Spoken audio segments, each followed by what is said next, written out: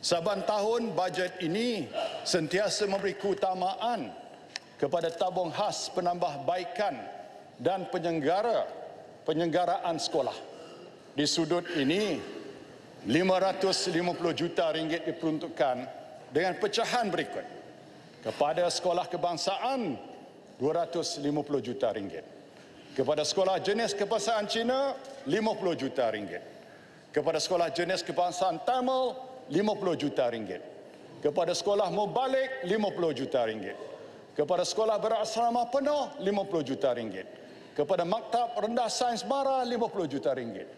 Kepada sekolah agama bantuan kerajaan 50 juta ringgit.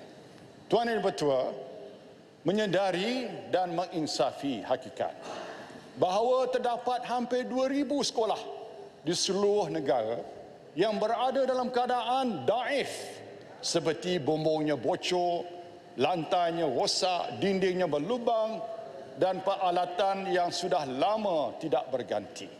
Untuk itu, melalui kaedah Industrial Building System IBS, kerajaan dengan penuh rasa tanggungjawab mengumumkan peruntukan terbesar sebanyak 2.5 bilion ringgit bagi tempoh dua tahun dengan pecahan 500 juta ringgit buat sekolah-sekolah daif di semenanjung Malaysia.